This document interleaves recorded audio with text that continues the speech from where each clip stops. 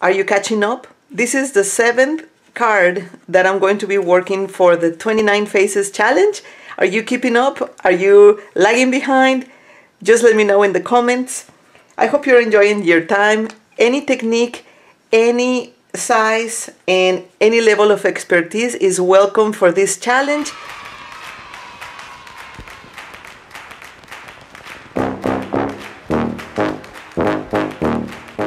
Welcome to the Ayala Art I Love to Paint channel. This is your friend Martha. Check on the information box below so you see the link to the group and the link to the blog.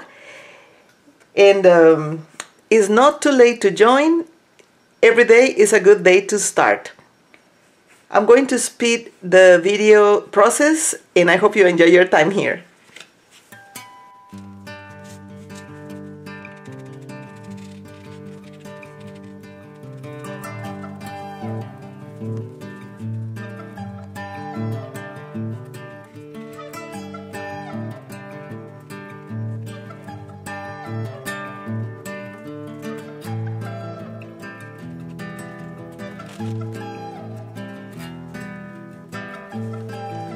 Going to be adding flowers with this template that I used in another video. And um, I like the size so they are like really huge flowers on her hair. My challenge, uh, personal challenge is to make girls with flowers and hearts for these 29 faces. And remember since there is 20 days I mean 28 days in the month one of the days you have to make two in February so I'm going to just do this. I'm going to include this template. And for now I'm going to paint. I have these colors which is red white and brown brown for her hair. And I'm thinking of red for the background. But if I do that then I will be needing another color for the flowers and maybe well I'm going to think about it a little bit. Maybe I could use this uh, peach color. Um, I'm going to think about it a little bit but I do want to have the background red.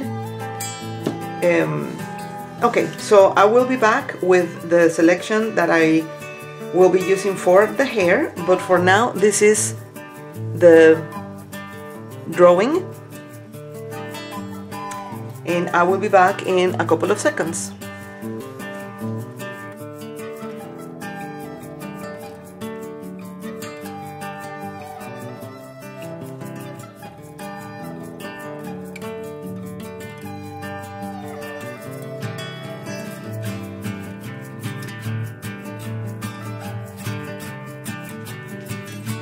Okay, the flowers are just an indication of where I'm going to be putting them so I can start painting first the red part.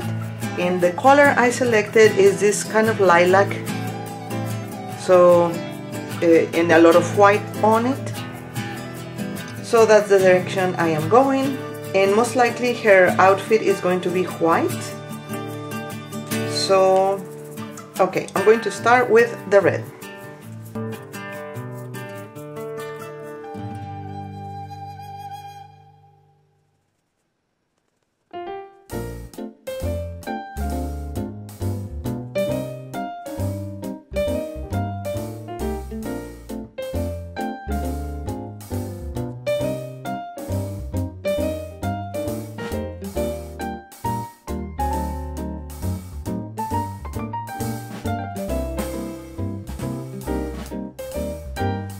I have been noticing that on this paper and with the matte medium on it, the paint seems to dance above the, the medium instead of just sticking more absorbently onto the paper.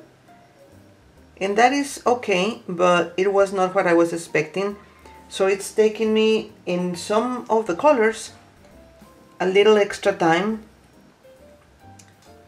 just to go around again and again to make sure that if I want to leave brush strokes it will stay but if I want it evenly I kind of have to go on it one more time Usually I like to leave the, the strokes marked on the paper, but sometimes I just don't want them in there and that's what is representing a little bit of a problem.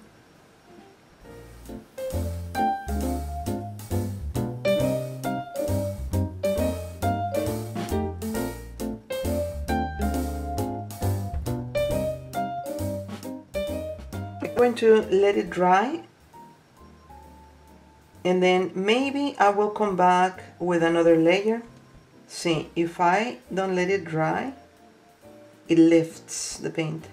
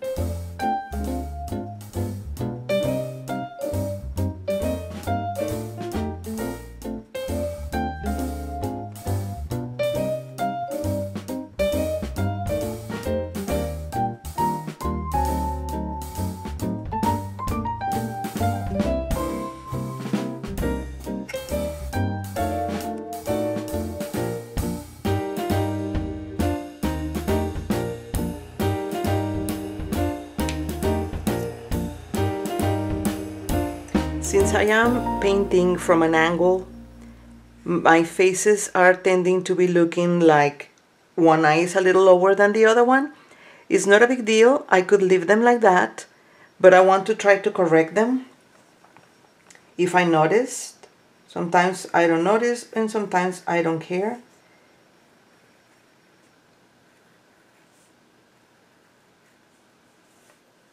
But if you want to make sure that something is um, in the same level if you didn't trace your own line then you can go with some kind of a page or something a ruler or something and see if they are um, at the same height which these aren't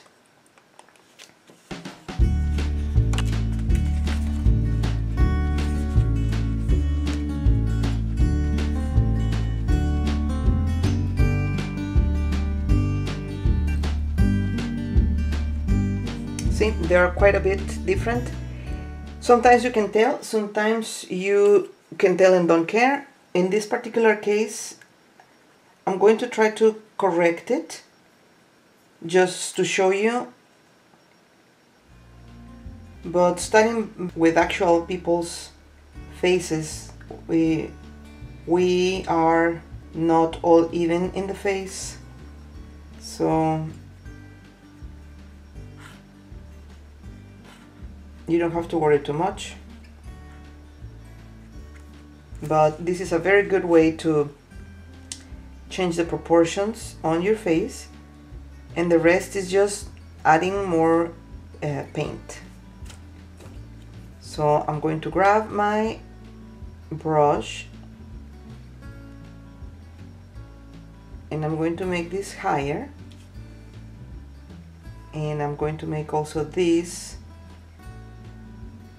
higher as well.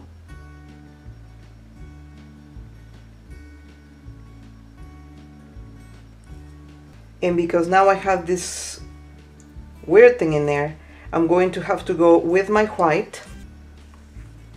I could make her like she's winking. That's an easy way to correct. But for this time, I'm just going to fill the space with white paint.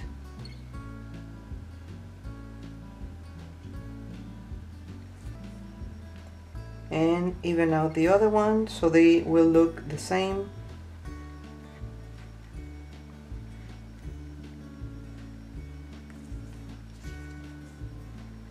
As flat as I can.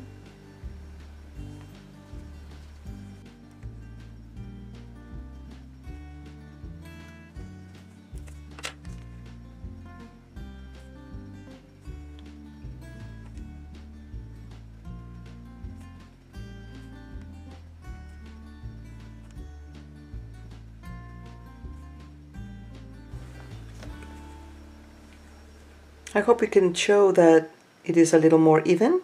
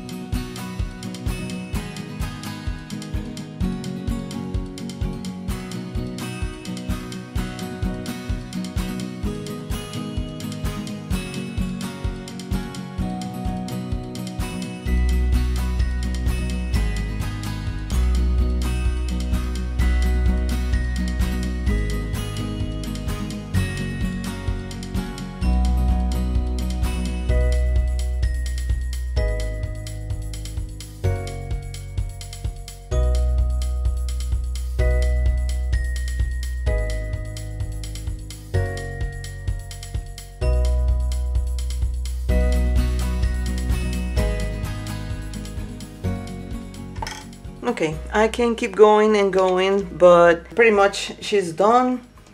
I have just little details that I might want to add once it's completely dry with the ink pen. Thanks for watching. I hope you enjoyed this process. Click like if you like this video, give us thumbs up, and visit all the other participants of the 29 Faces.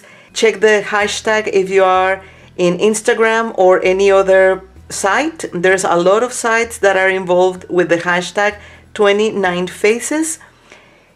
And I can tell you, you're going to find tons of art and you're going to have so much fun either that you are participating or that you are just admiring the art. Remember to keep your paintbrush wet.